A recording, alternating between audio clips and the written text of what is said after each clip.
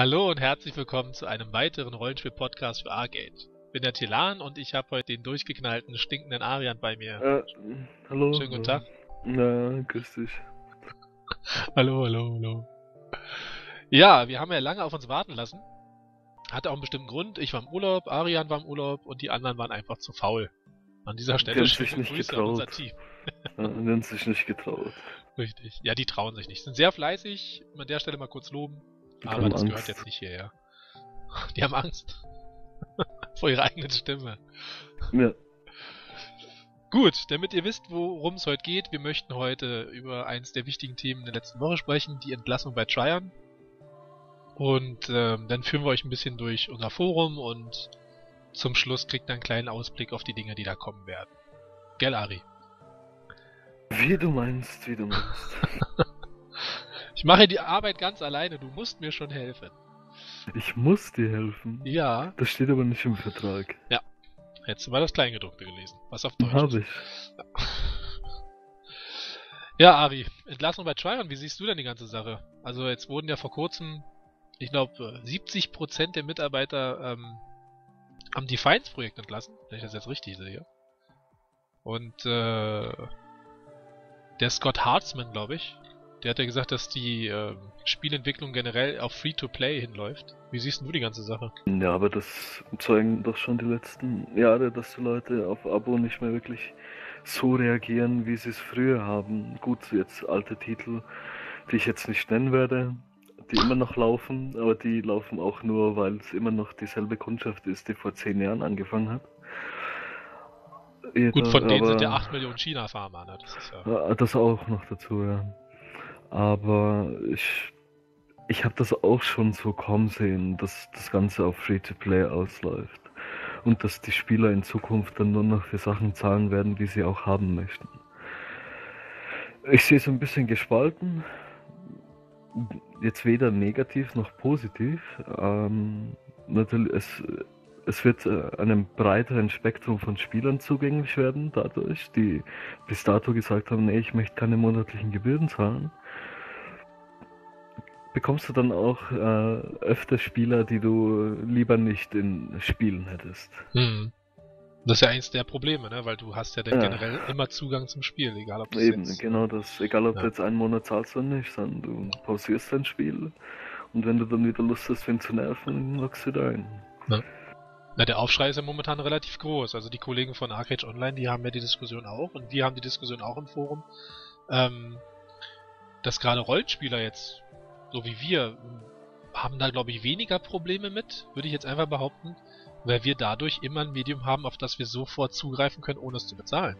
Genau. Ja. Wenn wir mal irgendwie Plotpausen haben, ja. äh, uns die Muse fehlt und wir eben eine Pause brauchen, müssen wir nicht unser Abo kündigen oder müssen warten, bis es ausgelaufen ist und dann kündigen und dann zwei Monate später wieder erneut einzuzahlen und um wieder spielen zu können. Nein, so hat man immer das Medium und man kann immer einloggen, wenn man gerade Lust hat. Richtig, sehe ich genauso. Also ähm, letztendlich wird sich dann zeigen, wie die Abo-Modelle laufen. Also China und Russland sind ja sowieso schon von Anfang an Free-to-Play ge äh, geplant. Das hat man ja auch gesehen in der letzten Zeit. Ähm, in Korea wird es definitiv, also es redet mir auch keiner aus, wird es auch umgestellt Nein, werden. Mir auch nicht. Und dann wäre es eigentlich ein Ding der Unmöglichkeit, das, dass wir ein Abo mit kriegen. Das Problem an dem ganzen Aufschrei ist, dieser Aufschrei ist doch immer da, bevor das Spiel draußen ist. Es wird immer geschrien, sobald irgendwelche Ankündigungen kommen, die irgendwelchen Leuten nicht passen, wird immer geschrien. Doch wenn das Spiel dann da ist, wird es so angenommen. Und die Leute regen sich auf und spielen es trotzdem. Also, ich weiß nicht, wie ernst ich solche Aussagen nehmen soll. Na, gar nicht, letztendlich. Na, eben, ganz Die genau Leute das. schreien ja immer. Ja. Die, die, Leute, Leute schreien immer. Es immer. ist egal, was ist. Die Leute schreien immer. Ja. Du, du wirst es nie allen Leuten recht machen können. Und das geht auch gar nicht. Kannst du auch überhaupt nicht. Das nee. kannst du überhaupt nicht. Die einzige Frage, die sich jetzt für mich generell stellt, ist, wie so ein Free-to-Play-Modell aussehen kann. Ja, also ähm, Buy-to-Play wäre mir persönlich am liebsten gewesen, so wie Guild Wars 2. Auch, ja. Ja, ähm, ich hoffe, dass, dass die dahin noch umschwenken. Ich glaube es aber nicht. Also wer jetzt die Fights kennt... Ich mir für Europa vorstellen. Aber ah, ich ich glaube es nicht. Wenn, wenn du, hast du die das Fights Problem an, Ja, aber das, ich habe es ja ein bisschen gespielt. Also mhm. ich habe äh, Beta gespielt mhm. und ein paar Videos auch angeguckt und den ganzen Blödsinn. Ähm, das Problem an Defiance ist, dass Defiance einfach, ich weiß, von meiner Warte aus gesehen, Schrott ist. Gut, das ich, ist ja ein äh, anderes Thema, ob jetzt das Spiel gut ist oder nicht. Ja, ja, ja, aber, aber, ich, ich, aber es ist einfach das Problem, dass das Spiel bei den Leuten nicht ankommt. Ja. Äh, weil sonst würden sie es nicht auf Free-to-Play setzen. Sonst hätten sie immer noch ein Buy-to-Play-Model, mhm. wenn sie damit Geld verdient hätten. Aber das Spiel kommt nicht an. Man bekommt es jetzt kostenlos, kann sich wahrscheinlich irgendwelche Sachen über irgendeinen Store besorgen und sie hoffen damit jetzt noch Geld, zu, äh, Geld rauszuschlagen. Aber Richtig. Ja. Bleibt abzuwarten. Aber wenn man jetzt äh, Defiance diese Oberfläche kennt, wie das Ganze aufgebaut ist mit dieser Ingame-Währung, mit diesen Münzen, dieser ganze Shop, der da jetzt äh, drumherum entstanden ist, dann siehst du schon auch anhand des Interface, dass das für alle Produkte von Triad nutzbar ist. Ja, das Natürlich. ist äh, nicht wie bei SVTOR. wo sowas ist immer auf die breite Masse ausgelegt. Genau, dass genau. du keine Zeit damit verschwenden musst, sowas nochmal zu Richtig. für andere Titel zu programmieren. Und ich denke mal, wenn sie jetzt Arc Age äh, äh, publishen, das werden sie ja definitiv weiterhin tun. Also dieses, diese Entlassung, was ja viele auch glauben, wird auch keine Auswirkung auf Arc Age haben. Das bezieht ja, sich direkt rein... auf Defiance. Richtig, richtig. Und das ist halt so eine, so, so, so eine Diskrepanz auch in der Meinungs, ähm, im Meinungsquerschnitt. Die Leute beziehen das generell auf die Angst, dass Arc Age nicht mehr rauskommt und das ist völliger Schwachsinn. Die einzige Debatte, die momentan geführt werden sollte, ist, macht's mir denn unter den und den Aspekten Spaß, ja? Oder welche Ideen könnte man äh, Tryon vielleicht auch unterbieten? Das ist ja auch eine Publisher, der generell auf, auf User-Meinung hört. Einzige Gut, und im Problem, Endeffekt. Hm? Ach, verzeih mir. Einzige Problem, was ich jetzt momentan sehe, wenn du jetzt einen kleineren Stab hast an Supportern, wird auch diese, diese Aufnahmefreude an Ideen auch nicht mehr so extrem vorhanden sein wie vor kurzem noch bei Rift. Letztendlich. Ne? Das stimmt. Aber ob es jetzt wirklich, ob es jetzt einem Spaß macht oder nicht Spaß macht, das wirst du dann sowieso erst sehen, wenn das Produkt da ist. Ja, ich weiß nicht, wenn, wenn dir Fliegen generell keinen Spaß macht, dann ist es egal, mit welchem Flugzeug du fliegst, es macht dir einfach keinen Spaß. Ja, ja oder wenn nicht. du wenn du. Ja, das äh, nicht, aber es ist ja noch nicht klar, äh, wie das Ganze ausgelebt richtig, wird in Arcade. Das ist ja, das, das weiß man ja noch nicht ja. genau. Das ist halt eine Spekulation. und deshalb sage ich eben, das ist eine Spekulation. Und spekulieren, ja, wir sind keine Börsenmakler, die Geld in den Himmel schießen. nicht mehr. Nee. Es ist einfach, also mir, mir ist ja ganz wichtig, die Leute da draußen zu beruhigen, wenn ihr jetzt zuhört. Diese ganze Sache betrifft einfach einen Wandel. Also wir werden generell in den nächsten zwei Jahren nie wieder Abo-Spieler haben. Das ist ein Wandel, der momentan stattfindet, weil die User werden auch jünger. Die User möchten modulare Bezahlmodelle haben, in denen sie sich äh, an die Einheiten anpassen können, die sie auch nutzen, wie zum Beispiel viel zu oft. Dann investierst du natürlich auch mehr Geld, weil du dann auch mehr Items wahrscheinlich kaufst. Und als wenig Spieler brauchst du gar kein Geld investieren. Eben. Weil, weil höchstens den Kaufpreis letztendlich, ne? Und, und ein zusätzliches Problem für Abo-Modell, für Abo-Modell-Spiele wird noch sein, dass es jetzt in, in letzter Zeit und in, auch in nächster Zeit viele qualitativ gute Spiele geben wird, die kein Abo fordern. Mhm. Und das hattest du früher nicht. Du hattest früher deine Abo-Spiele und hattest irgendwelche Nebenbei-Games, die äh, eh kein Mensch mehr kennt, äh, die äh, Free-to-Play waren. Mhm. Das haben aber auch immer nur ein kleiner Kreis von Leuten gespielt. Und jetzt hast du aber viele qualitativ gute Spiele, wo du keine Abogebühren zahlen musst. Richtig. Und, für, und irgendein Spiel ist für jeden immer dabei.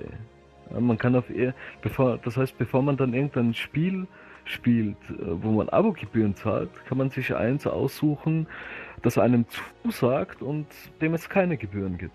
Und davon hast du im Moment recht viele oder wirst noch viel mehr haben in naher Zukunft. Ja, definitiv. Aber du hast gerade einen wichtigen Punkt angesprochen, finde ich, dass das früher so war. Ja, also viele der Spieler, ja, die Arcade spielen, die sind, äh, ich würde jetzt sagen, alle Mitte 20, so bis aufwärts. Ja, es gibt wenig Jungspieler, würde ich jetzt behaupten. Einfach jetzt so von meiner, was ich jetzt so gesehen habe.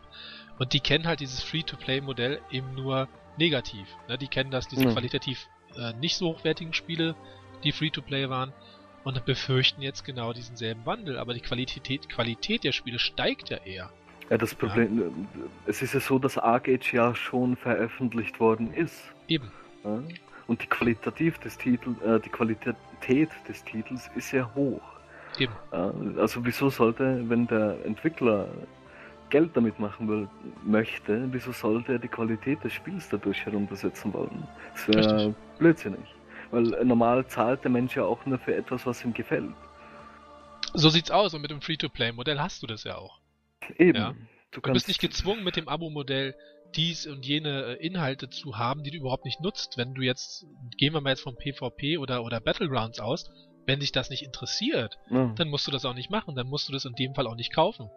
Oder, oder irgendwelche Zugänge erwerben, die das Leben leichter machen. Die Frage ist ja auch, äh, man weiß ja auch noch nicht, inwiefern sich das, äh, inwiefern sich das dann alles ändert. Wer, was wird begehbar sein, was wird nicht begehbar sein. Im Endeffekt ist vielleicht äh, alles Schall und Rauch und du kannst eh fast alles machen und hast deine Shops, in denen du noch zusätzlich Dinge erwerben kannst. Na, es wird schon, es wird schon in Richtung der Arbeitskraft gehen. Also da, das gibt's ja jetzt auch. Das denke ich auch, ja. ja. Du kannst ja jetzt äh, momentan in Korea auch Free-to-Play spielen, bis, glaube ich, bis in Juni rein. Und wenn du Arbeitskraft möchtest, musst du, glaube ich, per SMS, da lasse ich mich auch gerne mal verbessern, aber ich bin der Meinung, es ist so, ähm, dir diese Arbeitskraftkekse da kaufen und dann hast, kannst du auch Arbeitskraft generieren. Und das wird bei uns auch ähnlich laufen, weil, wenn du ein Modell hast, was Free-to-Play basiert ist, und du kannst unendlich viel Arbeitskraft generieren mit einer unendlichen Anzahl an Accounts, dann ist die ganze Wirtschaft kaputt.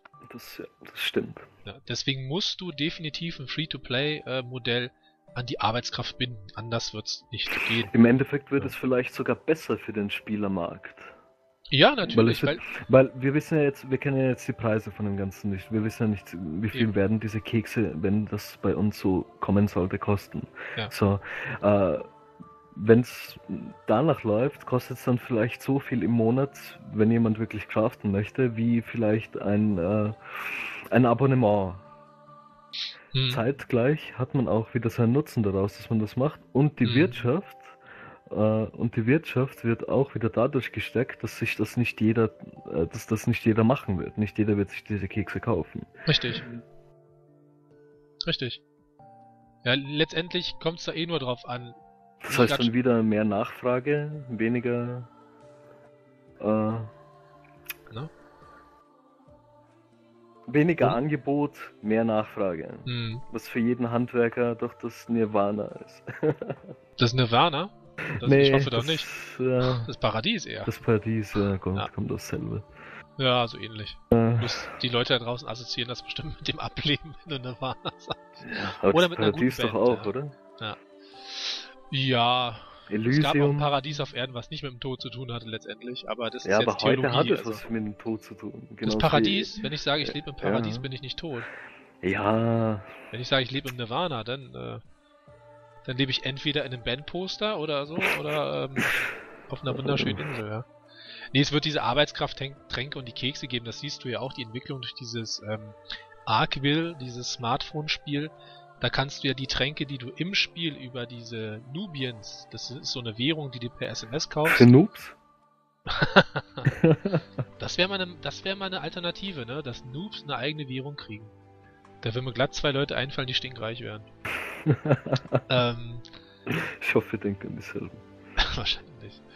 Jedenfalls ist es ja da auch so, dass du per SMS oder per Telefon rechnen und dir diese Nubians kaufen kannst, oder diese, diese Währung. Und äh, kannst dann die Arbeitskrafttränke kaufen in diesem kleinen Smartphone-Spiel und die kannst du wiederum an deinen Spielcharakter im Spiel schicken. Also schon da ist schon abzusehen, dass es eine gewisse Marktentwicklung geben wird für Arbeitskrafttränke und so weiter. Das gab es ja auch in Korea vor dem Free-to-Play-Modell. Du konntest ja ähm, bestimmte Sachen da auch schon kaufen. Ja. Ich denke mal, der Aufschrei tendiert eher in die Richtung der koreanischen Spieler, die in Deutschland beheimatet sind, weil die werden jetzt echt Probleme haben, wenn das wirklich Free-to-Play bleibt. Vielleicht ähm, seid sogar ihr schuld. Bitte was? Ja, vielleicht sind ja sogar sie schuld. Das glaube ich das, nicht. Das, ich glaub... ah, vielleicht, nee, vielleicht, vielleicht sagt das... XL Games viel zu viele Ausländer, die nee, also müssen das jetzt ändern. Die laden uns ja sogar ein. Also wir haben ja jetzt auch von Event einen Account. Ach, ich möchte, also. ich möchte doch die Leute ärgern. Ach so, das stimmt. Ja. ja. Aber letztendlich haben die jetzt Panik, wie sie an die Arbeitskraft kommen. Ne, Fido zum Beispiel, bestes Beispiel. Ähm, der wird in Korea weiterspielen, aber ich weiß jetzt nicht, wenn das Free-to-Play umgestellt wird, wie er, wobei der findet bestimmt eine Möglichkeit. Vielleicht sucht Aber- er sich eine koreanische Brieffreundin.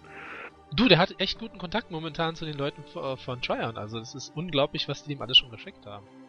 Ja, die haben richtige Pakete mit, mit, mit, mit, ähm, keine Was sind Ahnung. unsere Pakete, André? Das hätten unsere werden können. Das hätten unsere werden können. Ja. Schauen wir mal. Ähm, jedenfalls denke ich mal, dass der Aufschrei primär daher kommt, dass die Leute, die in Korea jetzt spielen wollen und noch da bleiben, denn Angst haben, nicht mehr spielen zu können. Ja, finde ich auch okay. Spielen hat. sie nur nicht. Äh, Ja, arbeiten. mehr effektiv. Ne? nee. Aber äh, nochmal auf Deutschland zurückzukommen, wird das Ganze Free-to-Play, sehe ich für den Rollenspieler folgende Möglichkeiten. Jemand, der wirklich nur Rollenspiel betreibt, der muss nicht einen Cent investieren. Der erstellt sich seinen Charakter, der levelt den hoch, denn da brauchst du nicht eine Arbeitskraft für. Ähm, oder jemand, der nur PvE-Inhalte genießt, der levelt auch hoch, brauchst du auch keine Arbeitskraft für.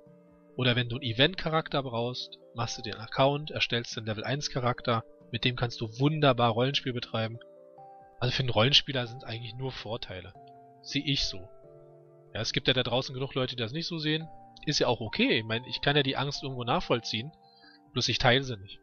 Oder du auch nicht. Geht mir genauso. Daher würde ich auch. Wenn jetzt ein, zwei Leute Und jetzt ich nur- weiß, dass ich auch was investieren werde, wenn es soweit kommt. Ja, du, eh, mir geht's ja ähnlich, ja. Also wenn ich die Möglichkeit habe, ähm, meinen Charakter irgendwie einen Vorteil zu verschaffen oder mir das Leben ein bisschen einfacher zu machen, mache ich das auch. Ja, ich bin Hobbyspieler, ich bin Freizeitspieler, wir beide, wir, wir arbeiten unglaublich viel und äh, da haben wir nicht die Zeit oder möchten auch eine Abkürzung nehmen, finde ich auch okay. Ja. Abo-Modell bin ich überhaupt kein Freund mehr von. Ich auch nicht. Also Buy-to-Play, juhu, da würde ich richtig aufspringen Ich wie auch. Guild Wars. Ähm, Free-to-Play, ja, ein kleiner Seufzer vielleicht dabei, aber sonst, wenn die das mit der Arbeitskraft und den Accounts hinbekommen, dann bin ich zufrieden. Ganz ehrlich. Und im Aber- Endeffekt müssen wir noch sehen, wie sich das Ganze dann wirklich auswirkt auf das Spiel bei uns. Also Richtig. momentan ist wie gesagt alles nur Spekulation, was da wirklich kommt, wissen wir nicht. Richtig. Wisst, wisst ihr genauso wenig. Also Von vielleicht sollte man mit dem Schreien warten, bis ein bisschen mehr Information da ist. Ja, man kann ja ein Und wenn bisschen dann was- seufzen, ne? Also, Und ja, schreien. seufzen, aber Ja. wenn was zum Schreien da ist, dann können wir schreien. Dann schreie ich gerne mit aus voller Kehle, aber aber dann auch an ähm, die richtige Moment- Adresse, ne? Das ist halt ja. immer so eine Frage. Aber im Also- Moment sollte man warten, schauen, was kommt, schauen, wie sich das Ganze entwickelt die nächste, Genau. in der nächsten Zeit. Weil wir haben ja noch ein bisschen Zeit, bis das bei uns ankommt. Richtig. Also, Aber wenn ihr da draußen, Hm. wenn ihr gerade zuhört, eine andere Meinung habt, schreibt's rein. Also wir, wir führen Ja. gerade eine heftige Diskussion im Forum. Ähm, da sind selbst Teammitglieder sich nicht ganz einig. Und äh, aber die haben ja zu, die haben ja zu, zu meinen, was wir ihnen sagen. Also von daher. ja stimmt. Psst, brauchst du nicht verraten, dass das fingiert ist. Ah, verdammt. Ah, immer das gleiche mit dir. Ja. Dann wollten wir noch zu dem Thema kommen, da überrasche ich gerade den Ari ein bisschen. Äh, die Arceum Man Challenge, die hat ja vor kurzem stattgefunden, aber wir haben es in unserem Podcast noch nicht behandelt. Ähm, hatte einige Teilnehmer, hatte auch einige Gewinner. An der Stelle mal Glückwunsch an die Leute, die durchs Ziel gekommen sind. Waren nicht alle, also es haben es echt nicht alle geschafft. Und unsere liebe festgesteckt. und unsere liebe Pantala ist, glaube ich, äh, relativ weit vorne, ne? Also, ich glaube 17. oder so. Siebte? Siebte? Siebte? Siebte? Nö, Ja, keine 17. Ahnung. 17. Keine Ahnung. Also Mel Melancholie hat gewonnen, die ist von der West Union Trading Company. Der Ruf von Impact, zweiter, Varo Loran, der ist von den Erben der Welten, den kennt er auch als äh, Moderator bei Arcade Online, ist dritter und dann kommen die, die Loser von Fibis. Nee, So nee, alles, so. alles nach eins ist ein Loser. Alles Also nach uns. nie- ja. Ist, ja, das auch, das kommt noch dazu. alles nach eins und alles nach uns. Ist Richtig. Ähm, wir haben ja Preise zur Verfügung gestellt, die sind noch in Arbeit für die Leute, die zuhören, den habe ich auch geschrieben. Diese ganzen 3D-Grafiken brauchen ihre Zeit und dann habt ihr auch ein paar schöne Sachen, die ihr euch an die Wand knallen könnt. Oder an die Stirn nageln, je nach, je nach, äh, Oder tätowieren. ja, du, ich habe ein Foto von mir hier ähm, auf der Plattform, könnt ihr euch gern tätowieren lassen. Kriegt ihr auch meine Zustimmung für. Ja. Nee, an der Stelle nochmals vielen Dank an die ganzen Teilnehmer und äh, für die Leute, die nicht wissen, was eine Arcumen Challenge ist, dann geht ihr auf www.arcage-rp.de und guckt mal nach. Da findet ihr das Ganze. ist initiiert auch von, oder auch, ist gelogen, also Fido hat das Ganze initiiert, äh, Arcade Online und wir standen Paten. Und ähm, das war so eine Art Marathonlauf durch die Welt von Ark. Mit recht tückischen Punkten, muss ich sagen. Also da gab es auch ein paar PvP-Gilden, die haben die da aufs Korn genommen. Und äh, könnt auf YouTube mal nachgucken. Es gibt auch ein Video, glaube ich, vom Keks. Ich glaube, Pokerkeks hat's aufgenommen, ne? Ich glaube Pokerkeks, ja. ja. Ich glaube Pokerkeks, also ich ja. bin mir nicht mehr sicher. Ist kein Rollenspieler, also nicht fragt, warum der jetzt so einen Namen hat. Wir wissen es nicht. Ja. Vielleicht pokert er gern mit Kekse, weil er sich Chips nicht leisten kann. Wir wissen es nicht. Ähm, jedenfalls da könnt ihr mal nachschauen. Jo, was haben wir denn noch Schönes, Ari? Erzähl mal. Ich weiß es nicht. Du weißt was es haben, nicht. Was haben wir denn Schönes? Wir haben uns ja ähm, jetzt als Redaktion sozusagen zusammengeschlossen. Ich glaube, das haben wir das letzte Mal nicht gesagt. Wir nee, gelten jetzt da waren offiziell. Wir auch noch keine. Stimmt, stimmt. Wir gelten jetzt offiziell als Redaktion. Das bedeutet, ihr kriegt die Inhalte aus erster Hand. Beziehungsweise das zweite, wir kriegen sie auch noch von irgendwoher. Und äh, können euch jetzt auf Messen, wenn denn Arc Age da vorgestellt wird. Begrüßen, schon können uns die Hand schütteln. Richtig. Ja, wir können schon ein paar Tage vorher als die Normalos sozusagen ja. uns das Ganze angucken und darüber berichten. Ne? Je nach NDA. Und äh, momentan ist der Arian drin, ich bin drin natürlich, die Redfern und die Pantalei. Der Odi hat uns verlassen, der hat momentan viel mit dem Studium zu tun und dreht noch seine Thief äh, Let's Plays. An der Stelle vielen Dank für deine, äh, ja, akzentfreie Arbeit. um es mal fies zu sagen. ist gemein, ne? Aber er weiß, glaube ich, wer es sagt und wie es meine.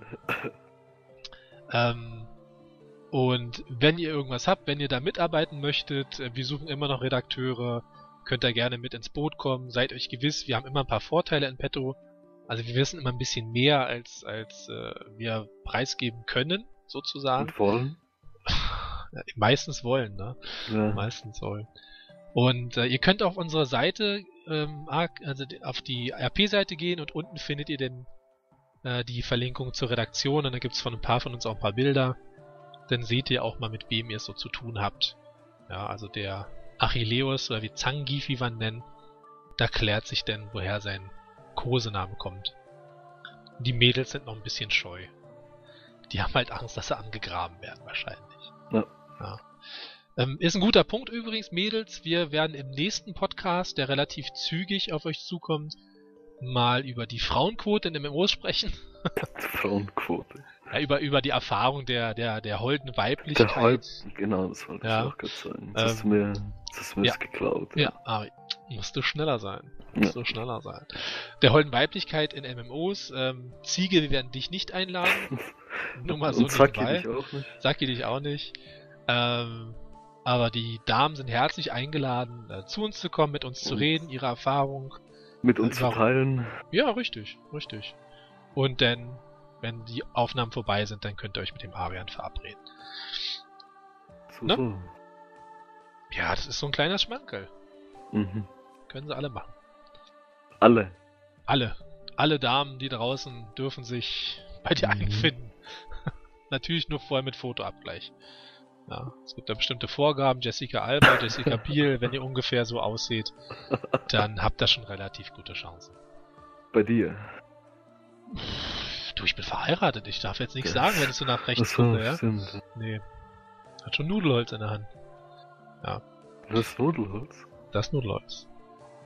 Ich nicht, aber die Dame rechts neben mir.